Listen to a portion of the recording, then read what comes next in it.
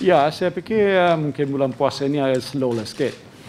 Tapi selepas tu dah raya besok mungkin kalau situasi keadaan mengizinkan dan ada kecenderungan dan minat pihak-pihak uh, daripada parti-parti mana sekalipun untuk bertemu dan juga berbincang uh, cara bagaimana nak menghadapi strategi pilihan raya umum ke-15 secara bersama-sama uh, dan mengelakkan pertembungan antara satu sama lain kita akan cuba usahakan ini bukan saja bergantung pada pihak saya tapi lebih baik daripada pihak-pihak yang lain yang berpendapat ataupun sependapat bahawa langkah sebegitu adalah wajar untuk uh, kita menentukan kemenangan kita dalam pilihan raya yang akan datang.